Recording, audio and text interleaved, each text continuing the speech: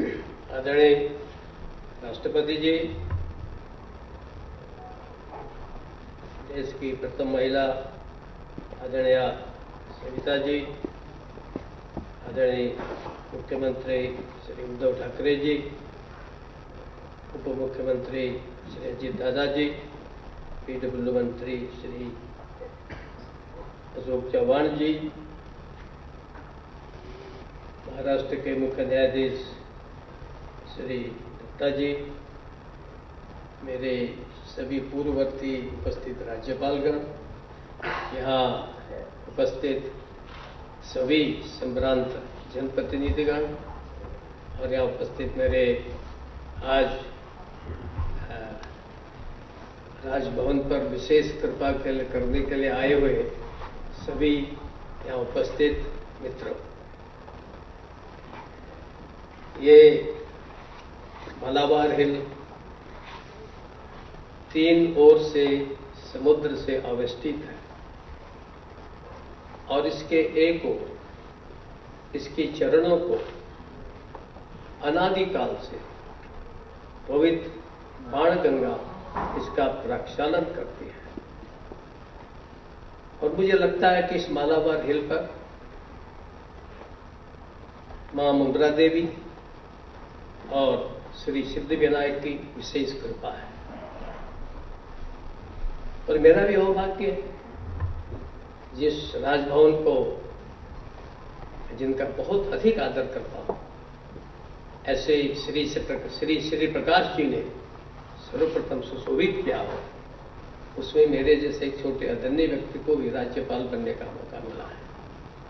और ये भी मैं सोचता हूँ कि सिद्ध विनायक की ही कुछ कृपा होगी। और ये हमारा परम सौभाग्य है कि देश के प्रथम नागरिक, आदरणीय श्रद्धेय हमारे राष्ट्रपति श्री रामनाथ कोविंद जी आज हमारे बीच में है और उनके कर कमलों द्वारा आज इसका अनावरण, इसका लोकार्पण हो रहा है। मैं लगभग ढाई वर्ष से यहाँ पर हूँ। मेरी कोशिश रही है कि राजभवन। थोड़ा राजकाज भी करें और केवल राजभवन नहीं तो एक जनता का भवन बने, लोक भवन बने, ये मेरी कोशिश रही है। आप सबके स्नेह प्रेम से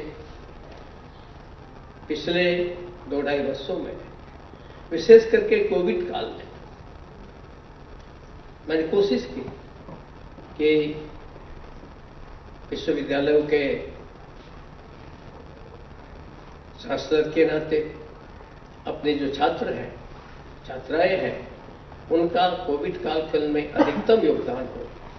और मुझे प्रसन्नता है कि हमारे छात्र छात्राओं ने, विश्वविद्यालयों ने अनेक प्रकार से, चाहे ब्लड डोनेशन हो प्लाज्मा डोनेशन हो, और भी अनेक प्रकार से काफ़ी सेवा की और मुझे ज़िले के अधिकारी जब उनके इस योगदान को बोलते तो अच्छा लगता कि हमारे विद्यार्थी सब में योगदान दे रहे हैं।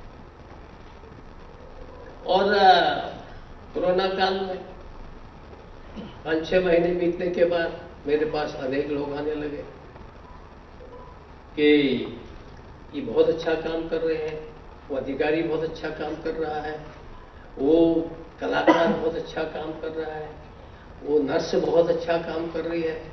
तो साहब, हम आपके हाथ से उनका सम्मान चाहते हैं फेलिसिटेशन चाहते हैं। मुझे इससे बड़ा गौरव की बात क्या हो सकती मुझे बहुत से लोगों ने कहा कि अरे राज्यपाल जी, आपको भी कोरोना हो जाएगा। तो मैंने कहा कि मेरे माँ ने मुझे बहुत करुणा दी है, और इसलिए शायद कोरोना मुझे नहीं होगा। और मैंने कोशिश की। कि ऐसे सैकड़ों ग्रुप, कोई एनजीओ, कोई संस्था चाहती है कि जिन्होंने उसके मोहल्ले में, उसके आसपास में बहुत अच्छा काम किया कोरोना में। बहुत से धनाढ़ लोगों ने अच्छा योगदान दिया। तो लोगों ने कहा, साहब, इनका हम यहाँ पर रजिस्ट्रेशन करते हैं। तो मुझे लगता है कि पिछले साल, सवा साल में प्रतिदिन यहाँ ये कार्यक्रम होते रहे। और मुझे निश्चित संख्या मैंने कहा, इनको लिखो तो लिख भी नहीं पाए। कोई कह रहा दस हज़ार हो गया। मैंने कहा, दस हज़ार नहीं तो पाँच हज़ार लोगों तो मैंने सम्मानित किया होगा और उनको सम्मानित करते हुए मैं अपने को सम्मानित अनुभव करता था। इतनी हस्तियाँ यहाँ पर वो उनका सम्मान करते। और मुझे बहुत अच्छा लगा। और अनेक सामान्य से पटवारी है, एक स्वच्छक है, सफ़ाई कर्मचारी है और एक छोटा सिपाही है।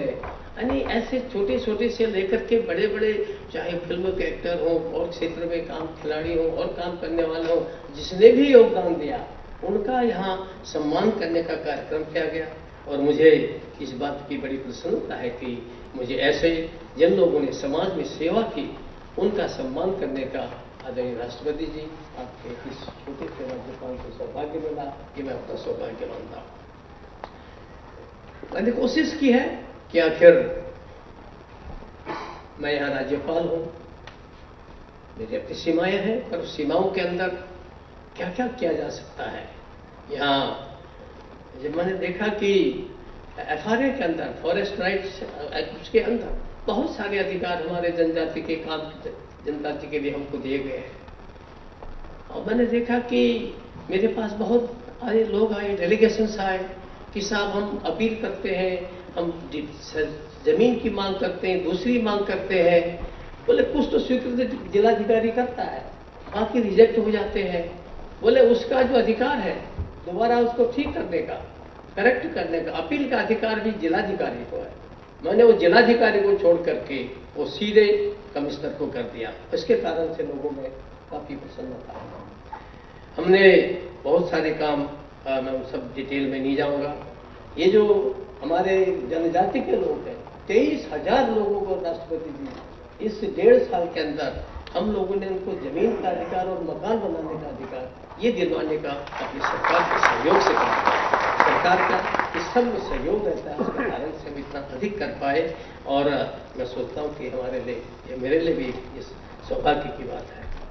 हमने बहुत सारी कोशिश की है, मैं ज़्यादा समय आपको नहीं लूँगा, लेकिन कोशिश की है कि डिफेंस की दृष्टि से कुछ हो, इस दृष्टि से नागपुर में हम लोगों ने डिफेंस सेंटर एक्सलेंस विश्वविद्यालय भी किया है। इसी प्रकार से मुंबई विश्वविद्यालय में कुछ दिन गोवा का भी राज्यपाल था। तो वहाँ अपना नेविगेशन के क्षेत्र में नेवी के क्षेत्र में मैरिटाइम क्षेत्र में, वहाँ यूनिवर्सिटी में पढ़ाई होती है, काम होता है। तो मैंने उनके और मुंबई यूनिवर्सिटी के कोलिब्रेशन में यहाँ नेवल क्षेत्र में भी मैरिटाइम स्टडीज़ के लिए भी नया स्टडी शुरू करवाया। ताकि भविष्य में जो बेरोजगारी की समस्या है, उसमें लड़कों को अवसर मिले, वो भी मैंने कोशिश की। बाकी और मुझे यहाँ आकर के सबसे आश्चर्य लगा कि सारे राज्य के कर्मचारी जो है, उनको छठा, सातवां सब वेतनमान मिल गए। और राजभवन के कर्मचारी, उनको 2006 से उनका कोई परीक्षण ही नहीं हुआ है, उनका रिवीजन ही नहीं हुआ है, उनको मिलता ही नहीं जो उनको मिल रहा है। तो मैंने यहाँ से तत्काल आकर के दिशा में कोशिश की और उन सभी कर्मचारियों का आशीर्वाद प्राप्त करने की प्राप्त की, उनको सारी सुविधा दे करके ये 2006 के बाद कल्पना कर सकते हैं हम लेकिन मेरी कोशिश रही है कि जो भी जहाँ हमसे सुविधा हो सके, जो भी हम सेवा थोड़ी बहुत कर सके, उस दिशा से मैंने अपने कर्मचारियों के लिए भी कोशिश की। मेरे एक अधिकारी ने कहा कि देखिए सर, यहाँ पुलिस की कैंटीन खोली जा सकती है। वो कैंटीन खुल गई तो मैं आपके कर्मचारियों को 20 परसेंट का कम से कम सस्ता चीज़ें मिलेंगी। मैंने हमारे यहाँ के नगर के पुलिस कमिश्नर है, उनसे कहा कि भाई, जरा करो, कोशिश करो। आज कर्मचारियों को यहाँ उस कैंटीन के माध्यम से बड़े खुश है कर्मचारी, उनको उसमें बहुत सुविधा हो जाती है। तो ऐसे बहुत कोशिश की मैंने कि यहाँ कुछ अच्छा होना चाहिए। यह ऐतिहासिक बंकर है। हमारे कुछ मित्रों ने यहाँ जब उनको, हमारे साहित्यकार, इतिहासकार, ऐसे लोगों को मैंने एक हफ़्ते रहने के लिए बुलाया। उन्होंने बंकर देखा। तो उन्होंने कहा, सर कि महाराष्ट्र में ऐसे ऐसे क्रांतिकारी लोग हुए हैं। उन क्रांतिकारियों को वस्तु जो है, मूर्ति जो है, इस बंकर के होनी चाहिए। तो बहुत जल्दी ही आग्रह करूँगा, अवसर हो तो फिर आप आने का कष्ट करें। हम कोशिश करेंगे कि ऐसे जो भी हमारे महाराष्ट्र के क्रांतिकारी हैं, उनको बंकर में उनकी बस लगा करके एक अच्छे म्यूज़ियम के रूप में प्रेरणादायी भी वो हो, इस दृष्टि से भी हमारा प्रयास चल रहा है, वो जल्दी पूरा हो जाएगा। और बहुत सारे काम है मैं इतना लंबा समय नहीं लूँगा। इस राजभवन में हमारी कोशिश थी कि यहाँ कुत्ते बिल्ली बहुत घूमते थे, चूहे भी बहुत घूमते थे। तो हमारे अधिकारी ने कहा कि साहब, इतना सुंदर जंगल है, राजभवन इतना अच्छा है, वो मोर की पंखी भगवान कृष्ण भी लगाते हैं तो यहाँ मोरों को क्यों नहीं पाला जाए? पिकॉक्स क्यों नहीं पाले जाए?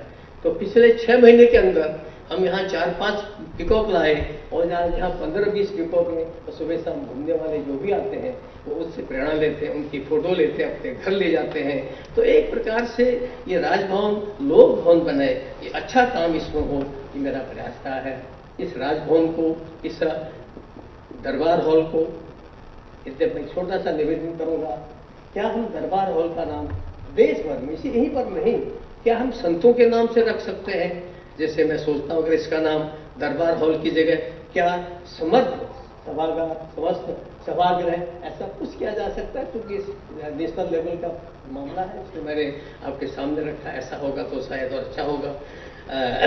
अंत में मैं आपका आभार करता ही हूँ। आपके प्रति तो मेरी बहुत आपकी मेरे कृपा की हम लोगों पर। मैं इस रात नए दरबार हॉल को बनाने में, सभागार को बनाने में एक रिकॉर्ड टाइम हमारे अधिकारियों ने, कर्मचारियों ने, इंजीनियरों ने इसकी जो आर्किटेक्ट आभा, उसने पहले एक बार में उनको डांटता भी था, लेकिन उनने रात दिन मेहनत करके इसको रिकॉर्ड टाइम में बनाने की कोशिश की है। हमारे माननीय मुख्यमंत्री जी, हमने चीफ मिनिस्टर जो वित्त मंत्री भी हैं, हमारे कुबेर है, उन्होंने कभी कंजूसी नहीं की, वैसे कहते कंजूस है, लेकिन इस मामले में कभी कंजूसी नहीं की। और अशोक जी हमारे चौहान साहब पीडब्ल्यूडी मिनिस्टर मुझे ऐसा लगा नहीं कि कभी कहीं पर कोई अवरोध आ रहा हो, कोई मना कर रहे हो तो मैं इनके प्रति बहुत आभार करता हूँ, प्रकट करता हूँ। हमारे सचिव हैं, और अधिकारी हैं, उनके लिए भी मैं बहुत आभार प्रकट करता हूँ। और विशेष करके आपके आगमन के समय, मैं जिनका सर्वाधिक आभार करूँगा, वे हैं जिन्होंने 12 घंटा 14 घंटा काम किया।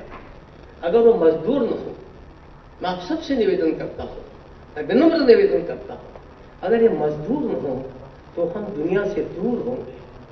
आज इन्हीं की कृपा है, ये अपना पसीना बहाते हैं, ये अपना एक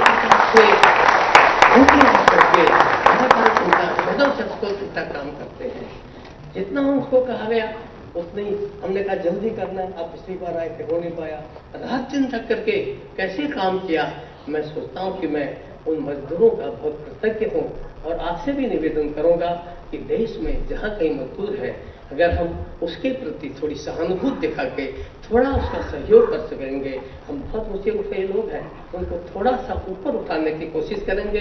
मैं सोचता हूँ कि इस आज दरबार हॉल का जो आज लोकार्पण हो रहा है, वो सफल होगा। इसी तंत्र के साथ एक बार फिर आपको मेरा बहुत बहुत बहुत बहुत धन्यवाद। जय हिंद, जय महाराष्ट्र।